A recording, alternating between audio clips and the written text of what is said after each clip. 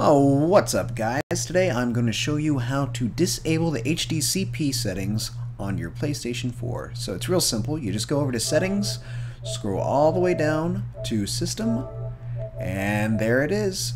You uncheck that little checkbox right there, and you're good to go. Have fun recording guys, and have a great day.